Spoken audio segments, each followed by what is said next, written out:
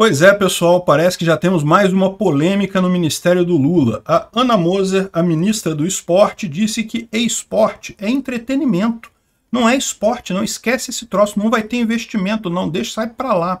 Vamos entender esse assunto? Essa notícia foi sugerida por Babu, Peter Petista e várias outras pessoas. Obrigado aí ao pessoal que sugeriu a notícia. Obrigado a você que está assistindo o nosso vídeo. Se você gosta do nosso conteúdo, por favor, deixe o seu like e se inscreva aqui no canal, né?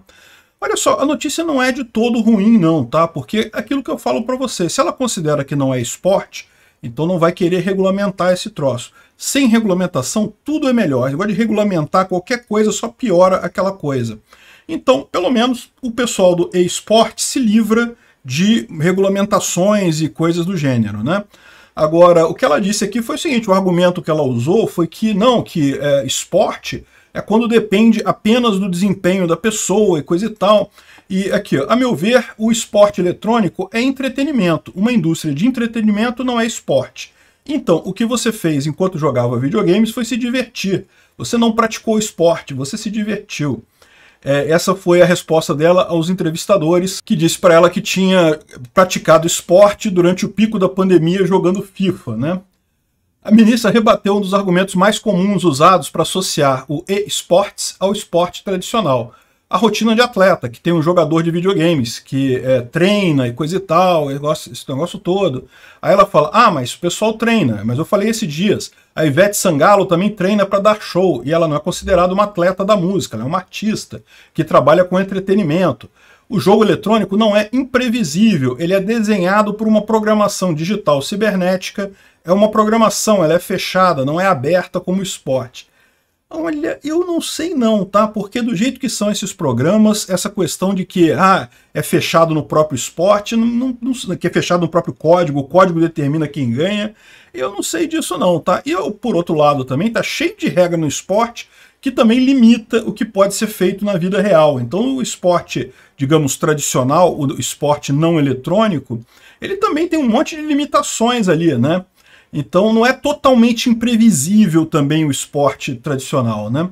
E daí ela falou que a ONG Atletas pelo Brasil, da qual a jogadora foi atuante, lutou e fez uma ação muito forte para que a lei geral do e-esporte não deixe o conceito de esporte mais amplo, o que permitiria o encaixe dos e-esportes. E no momento do texto do trabalho permite esse encaixe, mas o texto atual no plenário fala apenas em atividades predominantemente físicas, ou seja, olha só, é isso que eu estou falando que é o lado positivo. No final das contas, uma regulamentação que estava incluindo o esportes junto com os esportes vai deixar de incluir ele, né? E uh, ano passado a gente lutou uh, é, para não ter uh, o Atletas pelo, pelo Brasil, para a lei geral do esporte não ser aberto o suficiente para que se encaixe esportes eletrônicos. Não pode, não sei o que lá, só esporte raiz e coisa e tal, né? Enfim, minha opinião sobre isso. Eu acho que, meu amigo, o governo não tem que se intrometer em nada. O fato dela achar isso, ela tem o direito de achar o que ela quiser, ninguém se importa, né? Uh, uh, esporte é esporte? Se você considera que sim, é. Pô, que diferença faz? Uh, xadrez é esporte? Xadrez não tem muita atividade física, e, no entanto, se considera esporte. Ping-pong é esporte? Não sei. É, enfim, tem um monte de coisas aí limítrofes nessa história. Eu acho uma besteira limitar isso daí.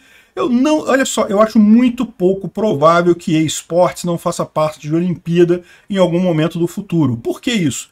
Pela popularidade. A gente sabe que, ah, você eh, considera que não é esporte, coisa e tal, beleza, você pode considerar o que você quiser. O fato é, tem uma audiência enorme. Pode ir nesses campeonatos de esportes aí, tem um monte de gente querendo assistir o pessoal jogar pela popularidade, pelo negócio, eh, vai acabar um dia, mais dia, menos dia, a gente vai ver esporte nas Olimpíadas ou em outros eventos de grande porte aí. Então eu não vejo nenhum problema nisso daqui. Eu acho que é, mas, mas por outro lado, eu acho positivo porque significa que o governo não vai interferir no esporte, vai deixar ele de fora, vai regulamentar só o esporte tradicional. Então também acho extremamente positivo isso daí, né?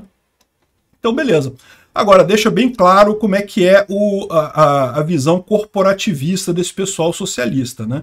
É o que eu falo para vocês, o pessoal tem uma visão de esquerda no mundo muito progressista. Por quê? Porque a esquerda nos Estados Unidos ela é progressista, ela é uma, é uma esquerda que quer abraçar coisas novas. Né? Na Europa também você tem essa visão da esquerda mais progressista, até mais do que a direita, que é mais conservadora e coisa e tal. Aqui na América Latina, eu sempre alertei o pessoal para isso. Aqui, a, a, esquerda aqui no Brasil é diferente.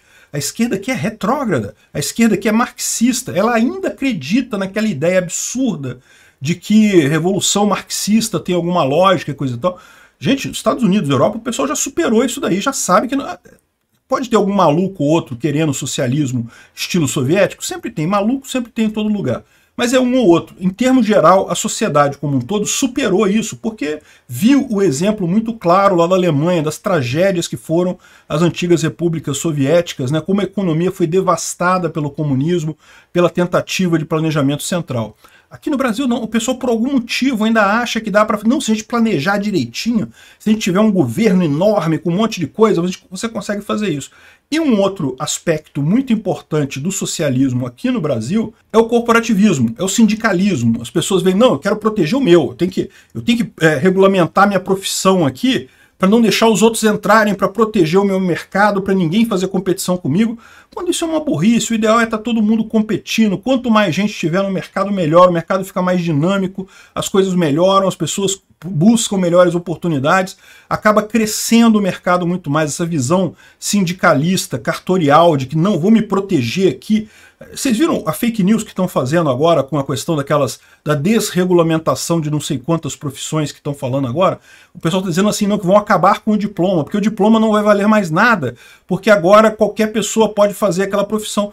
Não, é lógico que o diploma continua valendo. O diploma vale porque ele atesta que você tem uma qualidade de treinamento específica. E é o que ele deveria significar mesmo, que você estudou aquele assunto, que você é um especialista naquele assunto. Eu, se fosse contratar alguém para fazer uma casa, eu contrataria um engenheiro. Agora, a questão toda é a seguinte, é uma burrice você ter uma lei obrigando você a contratar engenheiro. Isso daí é, é clubismo. Por quê? Porque de repente eu quero construir uma, uma casinha de cachorro e daí eu não vou contratar um engenheiro. E aliás, também outra coisa. Tem pedreiros aí que com experiência e coisa e tal que você conhece, que você sabe que são plenamente capazes de fazer uma casa, não precisa de engenheiro, não precisa de arquiteto, não precisa de nada. Então, ou seja, esse tipo de coisa, no final das contas, é uma besteira, só prejudica todo mundo, não ajuda ninguém, não ajuda nem os próprios engenheiros, porque o mercado acaba ficando estagnado, né? Então, não, desregulamentar profissões não quer dizer que a profissão deixou de existir, nem que o diploma deixou de ter validade. É lógico que o diploma tem validade, porque você prova para quem vai te contratar que você tem aquele conhecimento. Essa é a função do diploma. Não é criar barreiras para você entrar na. Essa, essa é a visão sindicalista, é, cartorial brasileira, né? Que não, você tem que ter um papelzinho carimbado para você poder fazer determinada coisa. Porra, gente, supera isso, cara. E que bom que ela acha que esporte não é esporte. Obrigado por assistir o vídeo até o final. Além de curtir, compartilhar e se inscrever no canal, considere se tornar patrocinador com valores a partir de R$ 1,99. Clique no botão Seja Membro abaixo para saber as condições e vantagens de patrocinar o canal. Mais informações sobre o nosso projeto, visite nossos sites indicados na tela.